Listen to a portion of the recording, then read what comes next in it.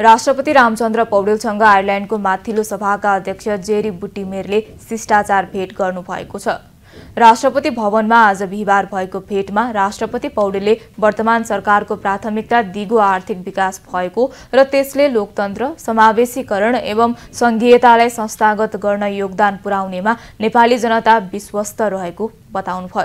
राष्ट्रपतिको कार्यालयका अनुसार राष्ट्रपति पौडेलले नेपाल र आयरल्याण्ड बीचको सौहार्दपूर्ण सम्बन्धलाई अझ बलियो बनाउँदै भविष्यमा द्वीपक्षीय क्षेत्रीय तथा बहुपक्षीय क्षेत्रमा आपसी हितका विषयमा सहकार्य गर्दै अगाडि बढ्नुपर्नेमा जोड दिनुभएको थियो।